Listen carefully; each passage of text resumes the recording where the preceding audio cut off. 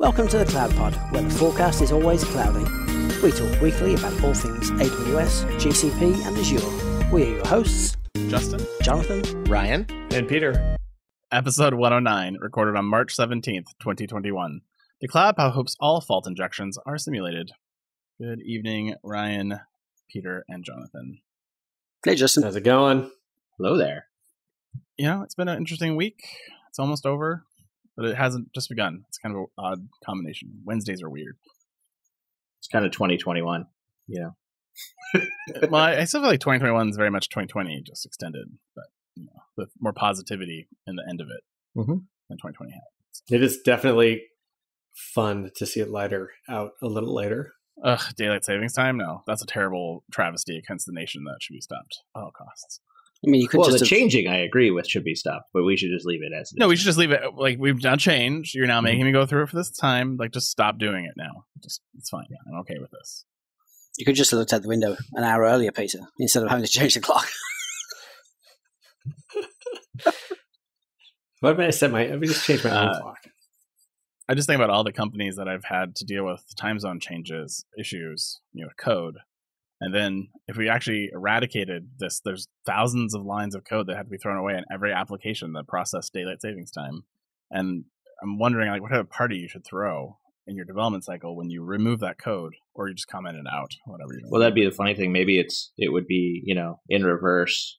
The fact that you if you leave the code in and there is no time change, it also breaks in a spectacular fashion. Well, I was wondering all the hacks you might be able to do for it. So maybe you, maybe because you're you couldn't figure out how to rip it out of your code because it's too embedded. You set basically the time zone change is going to be at 3 a.m.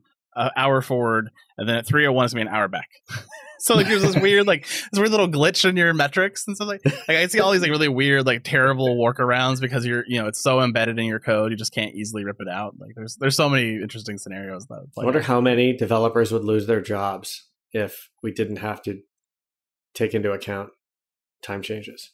Probably not enough to One, save two, GDP of a hundred. You'd have to I mean, like collectively across together. all companies that deal with data at the same time It's probably a Yeah. reasonable number when you aggregate them all together. But it's like three percent of one developer's time twice a year, where he curses out daylight savings time and then moves on with his life. So No, the real savings is in the QA for that, right? Because the QAing that's Yeah. a nightmare. oh, oh change yeah, the time, run the thing, change the time, run the thing. watch it. You know, watch the seconds click by as you wait for it to hit the window where it changes, and then. You know, and then all the different scenarios you're trying to test, like, okay, well, I have a job running, a batch job running during the time window change. What happens to the data? And like, oh, there's so many weird edge cases that have come out of it. It's got to be no fun. yeah, well, I'm glad we're through that. I didn't have any issues with my J job, but yeah, I'm sure someone did out there because it never failed. Every company I've been at somewhere has some type of daylight savings time mistake that happens twice. It's year. usually me missing a meeting. Though that's just human error. Like, I will say that I missed the first meeting on Monday morning. Absolutely, because the time changed. Like it, I felt like I was in college all over again. Yeah. like it was like I couldn't graduate then. I couldn't, you know, I still can't manage daylight savings. well, and they, they like to pretend that because they do it on Saturday night that it, it makes it better. So on Monday you're prepared, but Sunday I just sleep through and I'm like, wow, it's really late today. You're like, wow, how is it so late already? And then Monday is when it actually hits you, and you're like, oh, Yeah. I hate Son everyone. All right. Well, let's move on to other topics from daylight savings time. First up, you know, uh, I don't even know how long ago this was because it feels like it was 100 years ago. But you know, at one point, Docker was on bad, you know, on the end of days, selling off their enterprise business to Mirantis. We talked about it here on the show, leaving behind, you know, Docker Hub and Docker Desktop. And really, you know, they were trying to pivot away from the enterprise play, which they had failed at because Kubernetes ate their lunch, unfortunately. And So Swarm was dead, and you know Mirantis was going to take that carcass and try to make something out of it, which I don't know if they have or not. I haven't kept up with them, but you know, basically they've now come out and said uh, things are going pretty well. This new change has made them kingmakers in many ways for coders, and so its original trajectory of selling to enterprise fell flat, like I mentioned, and so now its two biggest products are Docker Desktop and Desktop Docker Hub. Docker Hub recently made waves when they increased the costs for hosting containers for many organizations and caused fun downtime issues. And with this growth in the developer community and top line revenue growth, apparently they've secured an additional 23 million in funding from investors, meaning they're in a much better place. And their CEO is out touting that to the press in a big way. So we talk, we talk about it. But you know, I don't know about how solid that 23 million in fund and funding is, considering it's tied to revenue, which that revenue is tied to them changing Docker Hub at the last minute and giving you absolutely no time to change your pipelines or update your code. And so everyone just you know subscribed for whatever fee they could just to get through it I'm not so sure this is going to work out long term, but we'll see how those renewals go next year. Well, I tell you, that's when I'd raise money. You do it before the cost, you know, the, the Yeah. profit starts drying up, or before the cost model goes out of whack with your revenue. That's the key step. I was at a startup where we missed the uh, the funding round that needed to happen before the cost started going through the roof to take market share. So we started taking market share in a way, big way, and our cost model started following the market share. And uh, the investors were like, "Wait a minute," and that was the end of that one. Too late. We got the money. In the, too late. Ready to give us the money. But you know, there was just you know, it was one of those areas where tech debt killed the company because you were we were too busy focusing on features and not you know doing things like dedupe and the storage tier and other optimizations. So then you know you're burning through a cabinet of storage a day. Yeah. You know, things aren't going so well in the cost model side when you don't focus on that kind of stuff. So it's a good uh, good lesson in startup economics. All right, Amazon has uh, given us some faults with the new fault injection simulator, or FIS for short. This new service will help you to perform controlled experiments on your AWS workloads by injecting faults and letting you see what happens. I would typically refer this to as chaos engineering, and there's many companies like Gremlin and others who do this outside of the native tooling. And so Amazon, though, is now giving you the ability to do it natively in the platform to avoid failures like regions, availability zones, CloudWatch issues, auto scaling, load balancing, cross region replication, and lots more to be tested, all by their dirty little secrets. Using the FIS, you'll learn how your system handles failure modes or doesn't handle them, which is ideal. And you can start by running experiments in pre production environments, which I highly recommend, and step up to running them as part of your CI CD process and maybe never eventually production. Yeah. maybe, Maybe never, never. Because you know I've I've been Yeah. so successful getting that you know in place with Gremlin and Chaos Monkey in the past. Exactly. I'm blown So away that it's taken such a long time, right? Turn this into a managed service. I mean, Chaos Monkey is 10 years old this year. And Netflix I mean- has been on stage how many times or, or been touted how many times at reInvent, everything else as being sort of the leaders in the space. But Yeah. it's a long and this time. capability is something that's been in the well architected framework for years and years and years as well. I mean, has Netflix stopped updating the Chaos Monkey tooling again? You know, they've had ebbs and flows on the Chaos Monkey tooling where they've, you know, done a lot of releases and it's been really great. You've been able to adopt it, and then it kind of gets stale over a year or two as they rewrite it internally, and then they release a new version of it, and you know, then it would kind of repeat the cycle over and over again. Because I'm, I'm not sure it's a super well funded initiative inside Netflix. So, you know, I'm glad to see Amazon take it on because I think it's what customers need to do their particular work. The first version of this only covers E EC2, ECS, EKS, and RDS, as well as some of the AWS APIs. And so this is a pretty good starting place, I would say, for most people. And if you are in any region except for Osaka or China, you can use this today. And those regions are coming very, very soon. So for instances, you can experiment by rebooting your server out of the middleware, stop it, terminate it, whatever you want to do to it. For ECS, you can drain your container instances, which basically means you're taking your node out of rotation. For EKS, you can terminate your node group instances.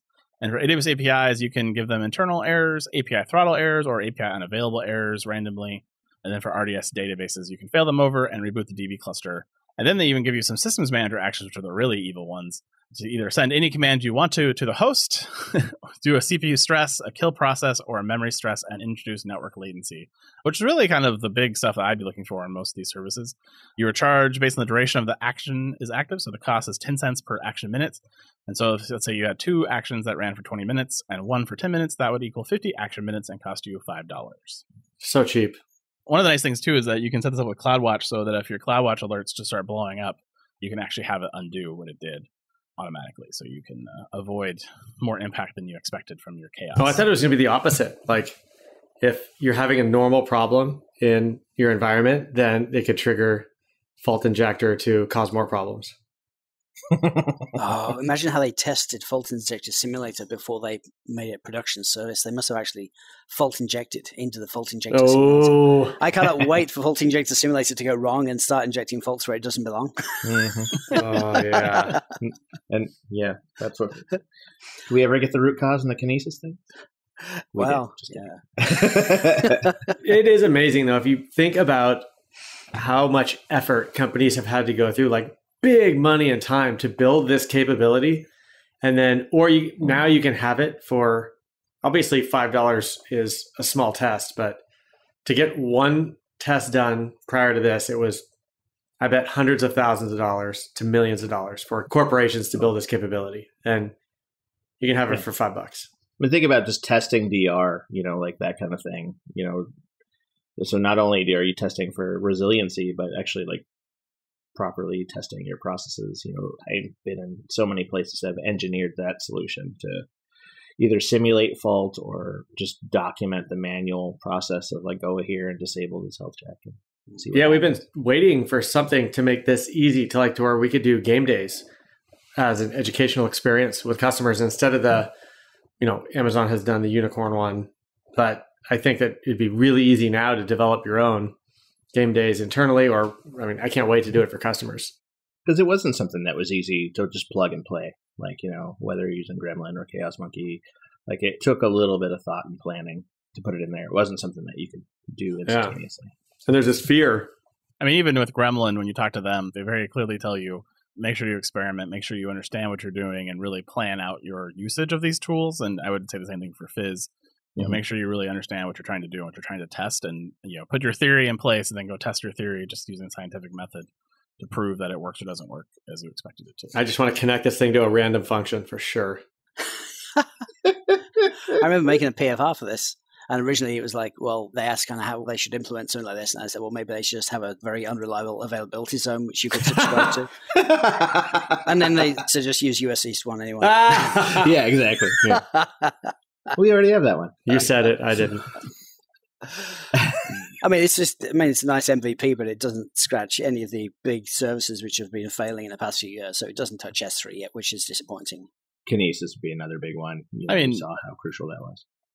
you can maybe get close though with some of those AWS APIs if you could say, you know, I want you to throw throttle errors or unavailable errors on S3. So I mean, you can get some of them or Kinesis, but I do suspect you'll see additional services come to this over the next year. Yeah. Which would be I mean, what I wanted to do is I wanted to respond that it's actually going to do what I asked, like when we asked it to spin up EC2 instances, but then never actually spin up EC2 instances. Because that was one of the EC2 control plane failures where you're perfectly happy to accept the request, but then just Didn't do anything? completely Yeah. them or put them in a queue that just didn't get executed for days on end. Well, and I think all of these, if you really look at them, it's really about you managing an environment, assuming Amazon is working the way it's supposed to. And when it's working the way it's supposed to, sometimes instances go away. You should account for that. But yeah, I don't think they're they're going to help you troubleshoot if they roll out a really bad ELB piece of code or something. Yeah. Well, for those of you who are doing a lot of storage on S3 and would like to test it, you know, you can't do that yet. But if you're using Glacier, which is a great product offering you a terabyte of data for $4 per month, it's a great use for a lot of those type of activities where you don't need to access data quite often. But there are some sharp edges, and I learned about them in the hard way, personally, along with some other my co-hosts here when nutrition data in and out of S3 Glacier. And so this new announcement makes what those sharp edges a little less sharp. So effective March 1st, S3 Glacier is now more cost effective than ever before as they're lowering the charges for put and lifecycle requests by 40% for all AWS regions. And you can now also use the S3 Put API to directly store the data in S3 Glacier without having to use a lifecycle API, which is very nice. So previously, if you had turned on lifecycle management of an S3 bucket and you said, I want to take all my data that's in this bucket that's over 30 days and like to just move it over to AWS Glacier, you could do that. And then you get a really big bill for all of the transactions that were moving to the other bucket. And so, you know, there's ways you can do it with batching and other ways that Amazon would highly recommend you do to avoid those costs, but they didn't do for you. And so this is one of those areas where your cloud provider sort of fails you, unfortunately. But uh, this is great for those that need it and need the ability to put and lifecycle actions and want a much more cost effective way to do that. This might be a great option to do model this out for your use case. Yeah, the funny thing is, you know, the warnings when you enable a very expensive lifecycle are all in the UI. And so if you're a heavy uh, automation proponent, you get no sort of warning when, Well- that, when that's going to cost you a lot of money. You can't complain about the, the UIs. Oh, you've got to type delete me, really. Uh, All this, all this junk in the UI, and then complain that you didn't use the UI. You I can. and I You will. totally can. It just makes me a hypocrite, which I'm Yes. fine he must be an expert. He's using the UI. Yeah, I know this. It's a Unix system. like, exactly. I mean, they could output the warning that they give you in the UI to the console and say, hey, you just enabled something that might be expensive. You should probably review the console and maybe give you a link to it to see what's going to cost you. can you stop on those jobs once it started? Though I'm, not- I'm not sure you can. Yeah, wait, that's how we Nope. stopped it from spending a Nope. lot more money. No, no, no, no. We didn't. We could remove the life cycle so that it would stop doing the damage. But once that was submitted, it was it's because it's in a completely asynchronous. What about system. like an app where if like management. Anything that's gonna happen that's gonna cost more than like whatever, two thousand bucks, somebody has an app on their phone and it just pushes a notification. You got to hit the yes button within like 60 seconds or it cancels. well, we learned like uh, I think it was on Google actually, but there was that a write up not that long ago talking about you know, but they had all the warnings in place with their budget alarms and everything, but because of the delay in billing stuff, you don't catch that for a couple days because you don't have the data. Right? So. No, this is not to be It's a preemptive. budget, not a block. Preemptive. Yeah. You want me to do what on Glacier? Hold on a sec. Let me just check with your boss on that. Hold on. Wait, wait give me a second. Yeah, he said no. to be a He said no. API. Yeah, I checked. He said no. I think you got it backwards. I think the account executives do get the message when you click those API calls, and it's like, Yeah. "Hey, new car next month." you just made your quota. the, ca- the cash register fires in the background, like ching. You're like, oh, someone just enabled Glacier policy. That's great on a very large bucket. uh, well, yeah, I'm glad to see this though. It's always nice to Yeah. uh, be able to use Glacier for less money. Yeah, I think this is an area they should continue to optimize, and that batch capability that they tell you you can use to save money. It'd be nice if they just made that automatic, so you don't have to worry about it so much. Uh, apparently, it's happy birthday to S3, which turned 15 on March 14th, 2021. And in honor of the occasion, Jeff Barr has taken a look back at the original blog post and has provided some updates to it, and has now told us that they're storing over 100 trillion objects and have regular peaks at tens of millions of requests per second, and almost 13,000 objects for each person in the world, or 50 objects for every one of the roughly 2 trillion galaxies in the universe, if you want to get kind of crazy. Amazon is celebrating with a really fun event this week that I can't tell you about. Well, I could tell you about it, but it's too late because it's this week. And they literally told us on Monday this week that they're doing an event this week celebrating Pi and S3 together. So that's a bit of a disappointment. But hopefully they'll learn from their lesson and have those available to you on Twitch or YouTube or something so you can watch those later if you're curious. Do check the YouTube channels. No happy birthday No. cheers? No one singing happy birthday. it's birthday? not a sentient being. It doesn't know. I was going to make the joke that almost all those objects were mine, and that was very expensive to life cycle them. But I Yeah. figured it was beating a This dead isn't horse. lightning round, Ryan. It's Yeah. Well, we talked about it a couple weeks ago when we saw the official GitHub release for the ECS agent would support ECS exec. And now it's official. It's on the official blog of AWS, which means it really happened. ECS exec gives you a simple, secure, and audible way for customers to execute commands in a container running on ECS, EC2 based instances, or Fargate, which I did not expect to see. ECS exec gives you an interactive shell or single command access to a running container, making it easier to debug issues, diagnose errors, collect one off dumps and statistics, and interact with processes in the container. And with ECS exec, you interact with the running container without interacting with the host instance, opening inbound ports, or managing SSH keys, thereby improving the security posture of your container instances. And this can be enabled at a very granular level, such as the ECS task or service level, maintaining your tight security controls. Well, the Fargate workloads are the reason, the main reason why they had to have this feature, right? Because it's so many workloads was too problematic. If you don't have any access to the host at all because it's not managed by you, how do you get any insight into your running container? And so Kubernetes, you have the API layer and it handles that. So ECS really had to step up this and offer this. And it is fantastic. I've already played around with it. It's a little bit more clunky to set up than I'd like, but yeah, it's amazing, amazing feature to have, and it's going to enable a whole lot of troubleshooting and debugging. It's a lot more complicated before. Yeah, so they did also integrate this into Copilot, which is supposed to be their way to make container development easier. So you should try to check it out with Copilot, see if that helps out with some of that, that rough edges that you were seeing. The 1990s called and said they wanted their shell servers back again. Just still trying to still trying to win lightning round. The nice thing about this is that it does output logs to CloudTrail and logs each command with output to S3 or to a CloudWatch log, so you can go check out what your people are doing actually inside those containers as well, uh, which is great. You do need to be on the ECS optimized AMI for Amazon Linux 2 with container agent 1.50.2 or Fargate platform 1.4 or later, so it may require an update on your side to get this capability. But if you're keeping up to date on your Amazon AMI through Parameter Store, you should be in good shape if you're using the latest, greatest version. And them shipping those logs to an outside space just lets me know that there are other compliant workloads that are noisy customers of Amazon, because that is exactly why that exists. So it's awesome. So I just mentioned Amazon Linux 2 as a requirement for the last feature, and that is because this next story is about Amazon Linux 1 AMI for ECS optimized use cases. So in December 31st, Amazon officially ended their standard support and entered maintenance support for Amazon Linux 1. And so if you've been a huge fan of Amazon Linux 1 for ECS because you don't like the way the you know systems D works in Amazon Linux 2, I have bad news for you. And that is that the ECS optimized Linux is going end of life as well as of April 15th, 2021 and it will enter an extended maintenance until June 30th, 2023. Hopefully, for most of you, this is just a simple change of your AMI in CloudFront or Terraform or some other simple process, and this doesn't take too much work to change because Amazon Linux 2 is uh, pretty nice. I did the Cloud Pod when they first announced that they were killing Amazon Linux 1 last year and caused downtime, but it worked great after I fixed the downtime.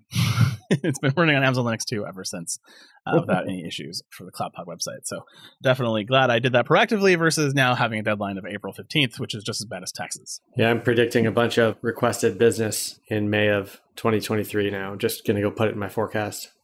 Put it in Salesforce. Well, hopefully it'll be a few months before May of 2023. You know? Most likely it won't be May of 2023 and it won't be June.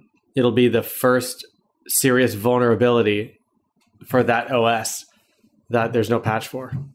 Or I predict a story coming up in January of 2023 where we'll announce here at the CloudPod that Amazon is extending the, the supported for Amazon Linux because customers have demanded it for the foreseeable future. Yeah. So see how that goes.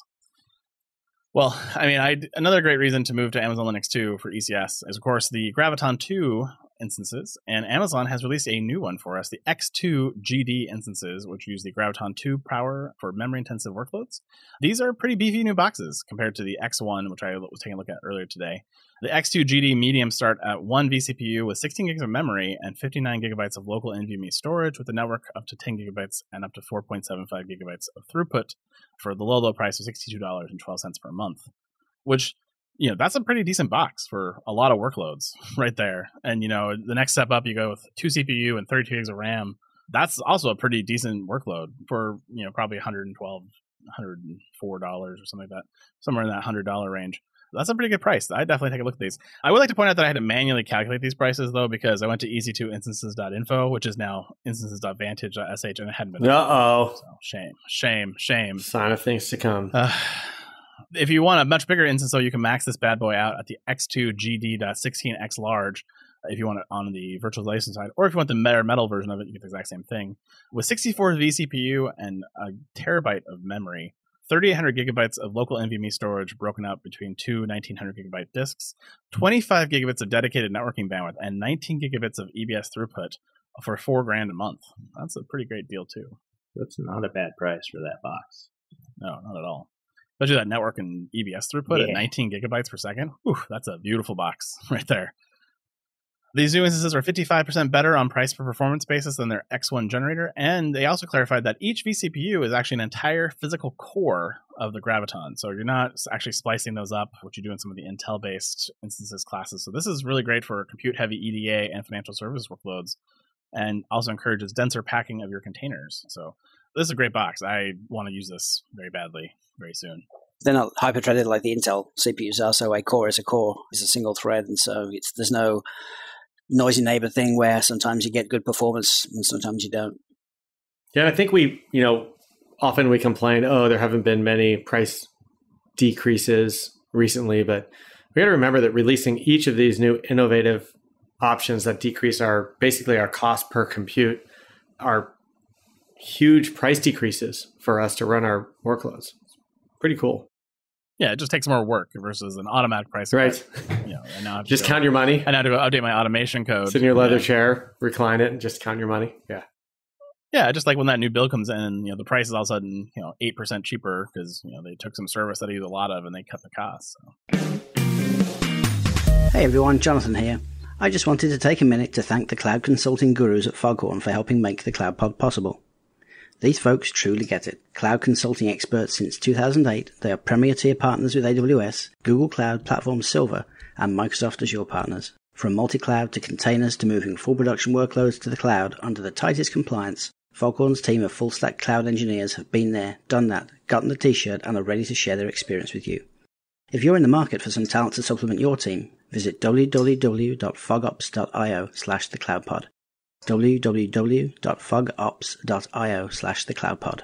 Foghorn, the promise of cloud delivered. And this last one I'm actually kind of excited about. This is the IAM Access Analyzer has now been updated to include policy validation. So IAM Access Analyzer, for those of you who've used it or tried to use it, is a great way to kind of see what permissions your IAM policy or IAM role actually has. So this is a great visualization for that. It's nice for security people. And so, you know, by allowing you to now do policies, you can help to construct your IAM policy and your SCPs take advantage of time-tested AWS best practices and designed for use by devs and security teams Oracle did not mention ops, but also ops teams. I don't know why Amazon was being special there. Validation takes place before the policy is attached to your IAM policy, with over 100 checks, each designed to improve your security posture and to help you to simplify policy management at scale, which is really great. They gave us a few examples in the blog post, and I also looked at a couple in the console myself. The first one up was security for policy elements that are overly permissive, and that may not be security risk, including things like IAM PassRole in conjunction with a not resource or with a wildcard as the resource which is the bane of existence for most teams trying to do CI/CD. But that one is definitely one you got to keep an eye on. Error for policy elements that stop the policy from functioning. This includes maybe syntax errors or missing actions or invalid constructs. They give you warnings if you're using deprecated global condition keys or invalid users, or you're using ambiguous dates. And then also provide suggestions for elements that are missing, empty, or redundant in your policies.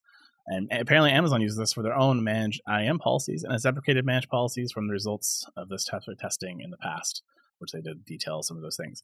They did complement some of the other well-known tools in the space, including Parliament and Duo Labs. But you know, customers apparently were asking Amazon to build this in an Amazon native way in the console, so that while you're editing your policy, you'll be able to see directly without having to run a third-party tool. Which I can definitely see the use case for that. Uh, available to you at no charge, which is always great. Yeah, I can't argue with the price. You know, it's the Access Analyzer has been a great help for defining policies you know, you can sort of look at your access and what services you're using and it's reverse engineer policy out of that. And so this takes it to the next step of analyzing the incoming policy. And so, you know, as someone who's, you know, sort of a internal service provider on this platform, I can use this as to build up functionality into our CI/CD pipelines, build checks, and build up reports that I can share with internal teams. So this is fantastic. I love what this enables. It's been a great troubleshooting tool. We've used it many, many times to try and figure out exactly why things were working the way we expected. Mm-hmm. You very quickly realize how you're. You thought you were doing something because you thought you knew the IAM role, and then realize, oh no, I need a different one, or I need that one plus another one. So it does come in handy quite a bit. It is definitely one of the more common tools that I use as well. It's like the worst curse of least privileged is that you know, like you want to do the right thing, but you're punished for it just over and over and over again as you try to create those policies, and then as things change, you get punished again yeah, your idea is really great. You do least privilege for your idea, then your idea gets you get a new idea for your idea, and you're like, "Oh, I'm going to make it better. I'm going to do this thing." And then, oh yeah, wait, I have permission problems because I originally didn't design my service for DynamoDB, and now I don't have access to it. So yeah, there's those gotchas for sure. Well, and you know, there's a new IAM permission because Amazon announced a new functionality for you know like the Lambda code signing. What bit me, right? And I didn't have the permission for it, so you can't even read the Lambda function anymore. Yeah, those are definitely kind of a bummer. I wish they would give more warning for some of those. We're going to be adding a new thing that you're going to need in the policy. That'd be nice if they provided that. I mean, the reality is they could warn me, but I'm not going to notice until I get that error. Be like, that, That's true. Oh, right. But at least then they can say they did tell you. You just ignored it, uh, which is better for them, worse for you. well, moving to GCP, we have one announcement from Google this week, which is the launch of Mission Critical Services. Mission Critical Services is for the most demanding enterprise environments. And this is basically built on top of Google's Premier support. Customers in demanding enterprise environments, even a minute of downtime can mean millions of dollars of lost revenue for them. And so MCS is available to help them address that issue. Unlike many premium services in the market that offload the burden of mission critical support to the cloud vendor, MCS is a consultative offering in which they partner with you on a journey toward readiness. Or if we don't think you're doing the right things per the Google's recommendations, we're not going to offer this to you. That's how I read that. Even better, it's built on the same methodology they use in support of the Google Cloud and a set of core concepts and methods from their SRE book. If you sign up for MCS, they'll ask you questions like Is your architecture designed with resiliency in mind? If you answer no, you're not eligible for the service. Do you have the right balance of control and agility in operating your mission critical environment? If the answer is no, this might not be the service for you. Observability, are you instrumenting the right monitoring systems and signals for your application? Again, if this answer is no, this is not the service for you measurement, how you're setting and raising your SLOs to improve the most critical apps and services. Again, gotta be yes. And once Google deems that you are truly worthy, their highest tier of engineers have familiarity with your code and your application. They will spin up a war room for you 365 days of the year within five minutes with their experts to help solve all of your problems. And so, an example customer they gave us is HSBC, which is a bank which is using MCS to provide a superior experience and uptime for business banking customers using the HSBC Kinetic service. And Kinetic is an app based banking solution that offers a full suite of banking services, including direct debits, cash flow management, integration to third party accounting, and more. And I have a quote from Paul Frost, HSBC Chief Architect of Wholesale Banking Technology, which is a fantastic role and title. HSBC Kinetic is a transforming digital business banking and the customer experience. We're excited to use mission critical services from Google Cloud, which offers expedited GCP technical team engagement and continuous improvement. The collaboration with Google Cloud helps us to grow confidence and ensure our new HSBC Kinetic service for business banking customers is a success. Meaning they get to yell at Google when it's broken. But only if you did it the way they wanted in the first place. Correct. Otherwise, they point the finger and say, tough luck. Yep. I think this is a service they don't actually want you to use. They just want you to go apply for. Like, um, wasn't it a show or two ago where they announced the, the sort of shared responsibility model, right? They Where did, yeah. Sign up for that, yeah. The insurance auditing. Mhm. you guys and so this it. sort of in line with that, where it's like, well, they don't really want you to buy for it, but they do want, you know, like your CEO to force you to go through the process. Well, it seems like a great way to sell a lot of consulting services. Like, well, you know, I don't really have the right observability. Great, we can sell you consulting. And we can help you get your SRE team to be on the right track. So you're managing the right things for your mission critical application. Because you've already told us it's mission critical because you're trying to get this service. So now we know you're willing to pay through the nose to make it work. Yeah, I mean, it just sounds like a rebrand. Maybe it's not, but it sounds like a rebrand of their CRE service, which was basically the customer facing version of SRE, the way Google does it. So I wonder if this like marries with that or if this is just a rebranding of CRE. Could be. They did not mention CRE in the article. You never do if you're rebranding. Yeah, true. We're expanding our amazing CRE services with the new MSC. Yeah. Sometimes you do. Just depends. All right, moving on to Azure. Azure and AMD are announcing a landmark in confidential computing evolution, which means that Azure is now supporting the new EPYC 7003 series processors.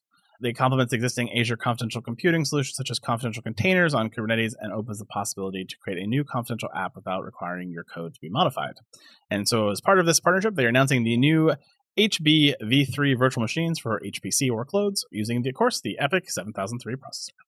These new instance types of the HB3 VM is available in East US, South Central US, and West Europe, and coming to West US 3 and Southeast Asia very soon.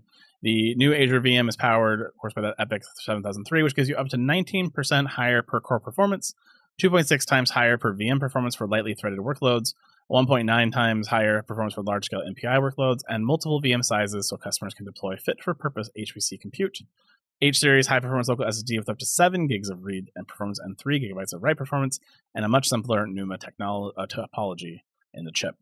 The HB120 RSV3 node is 120 cores with 440 gigs of RAM and 2100 gigs of temporary storage and will cost you about $2,600 or $2,700 per month rounding up. Why doesn't Microsoft buy AMD? That'd be kind of fun. I mean, the antitrust on that alone would be a nightmare. yeah, this is a pretty beefy box as well. 120 cores, almost a half terabyte of RAM. Like the sizes are getting pretty amazing, or epic, if you will. Yeah. I'm not kidding though. I mean, they would be Dun, dun, dun. more of a competitor to Amazon. I mean, I think it would be a, a good thing for antitrust because Amazon's designing their own chips today. Ah, but so's Apple.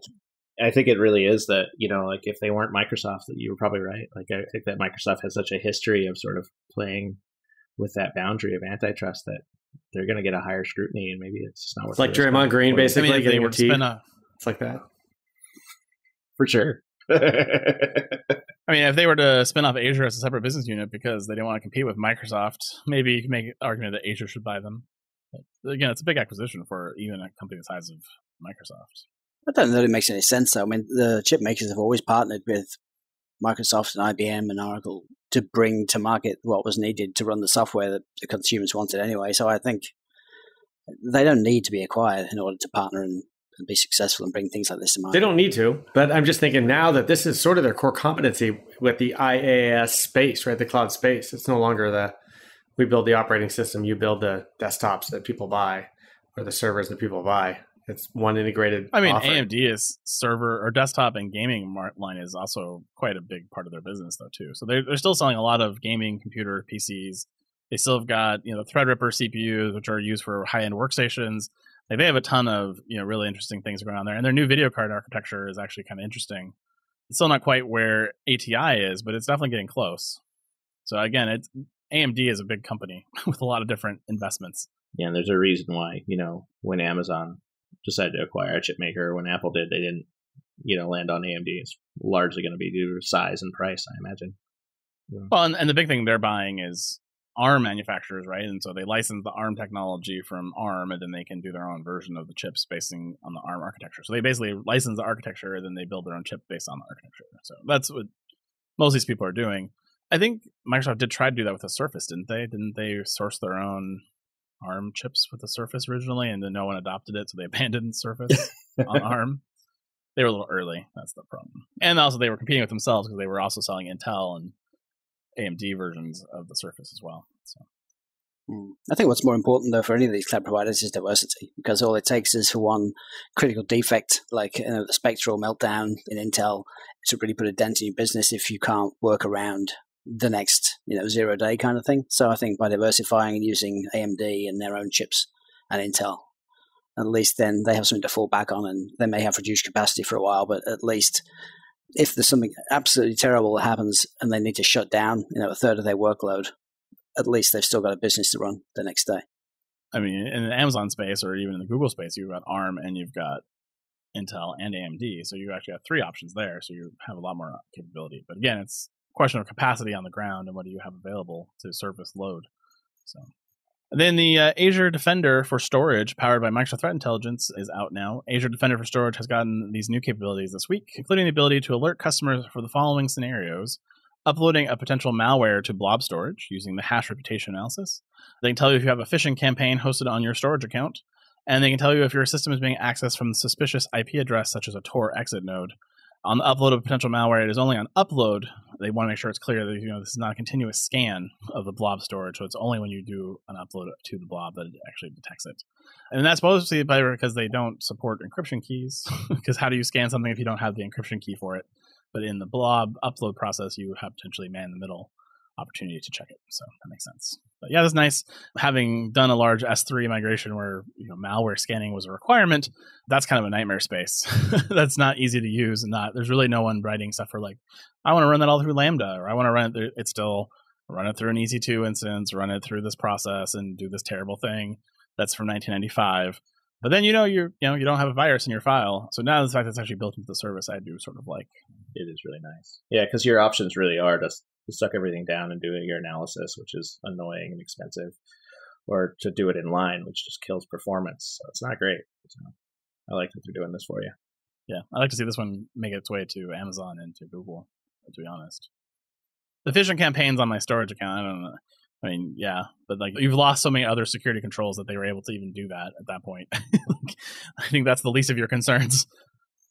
I mean, isn't that just the you know the hosting of the static website or something like that? yeah, exactly. Which means that thing? someone accessed your Azure storage account, they uploaded a piece of code, they configured DNS to get to that point, you know, to be able to host that page. Like that, to me, that seems like you've lost the battle in many other areas before this became the problem.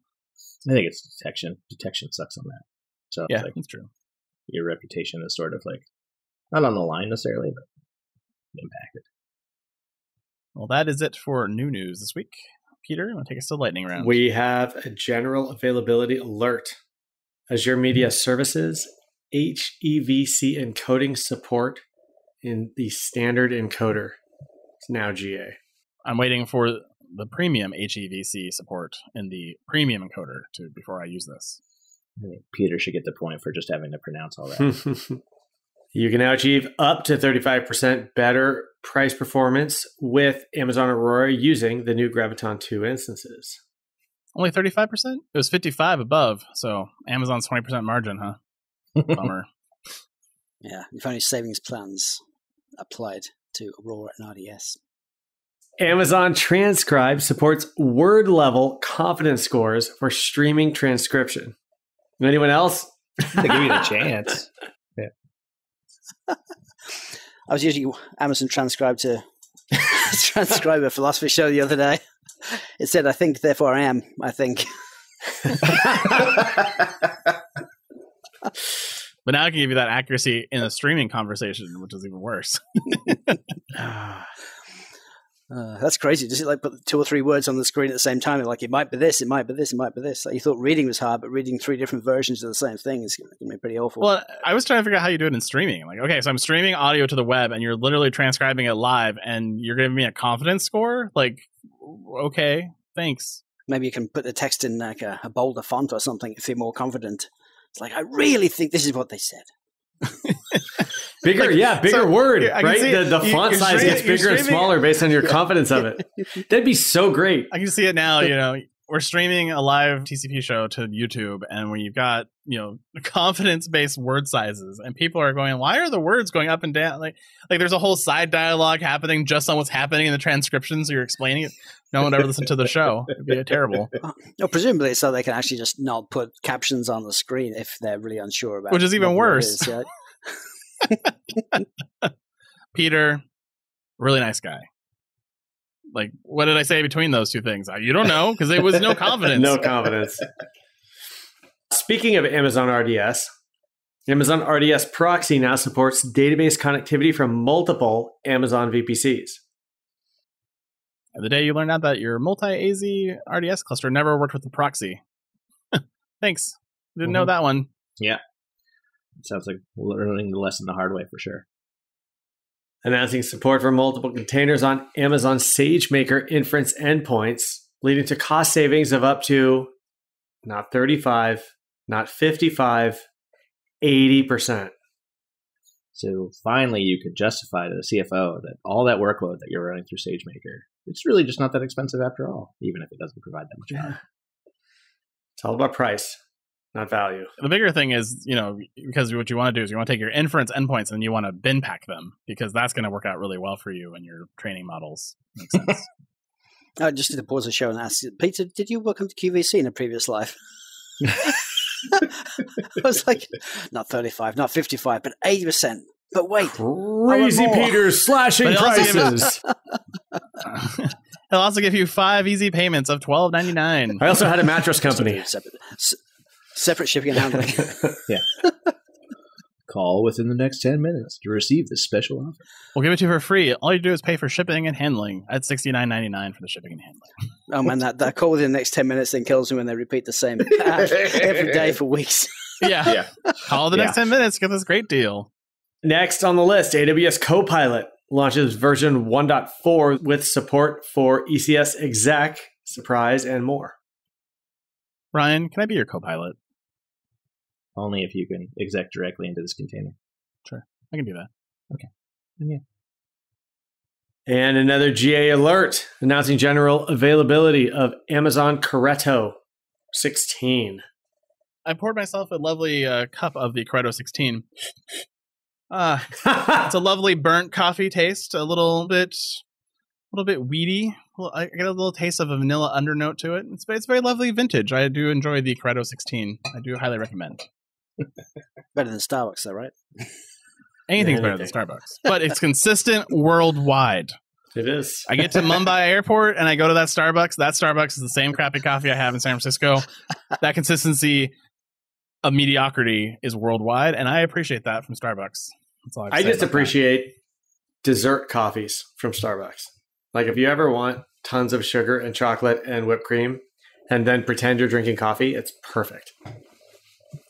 Mocha frappuccino. Those things are wonderful. Yeah. 2,000 calories in a Yeah. drink. Awesome. Carb load, baby. You're not I have supposed to look it up. You're not supposed to no look it carb load. You just do it on you your way don't, to the if you gym. don't know, it can't hurt you, right? I got to give it to Ryan. He made us put a blooper in, so that's it. Ryan, Ryan's coming back. He's he's aggressive. He's figured out his technique. Let's see, it's only taken a year. He's on. Yeah. You know, there if it go. weren't for that blooper too, you were like in dead last in that round. Yeah. for sure. As usual. Yeah. Uh, well, things are coming up once again here at the Cloud Pod and in the world of cloud. So, Amazon is hosting a startup day on April 8th, which is going to be a virtual gathering of startup experts, founders, and partners to participate in a stellar education and networking event, learning the basics of how startups build and scale on AWS from successful startup founders who have been there. And the answer I can tell you right now is serverless. And DynamoDB. But if you don't know that and you want to learn more about how startups are doing their Amazon world and everything at AWS, do check out this great event. These startup days are always a great highlight here in the Bay Area, and now they're going virtual, which is nice to see here in the COVID era. So do check that out on April 8th if you are interested. And that is it for the Week in Cloud. See you later. Good job. See you guys. Good night. Bye, everybody. And that is the Week in Cloud. We'd like to thank our sponsor, Foghorn Consulting. Subscribe on iTunes or wherever you get your podcasts and tweet us your feedback at hashtag thecloudpod. Or join our Slack channel, go to our website, thecloudpod.net for sign up instructions.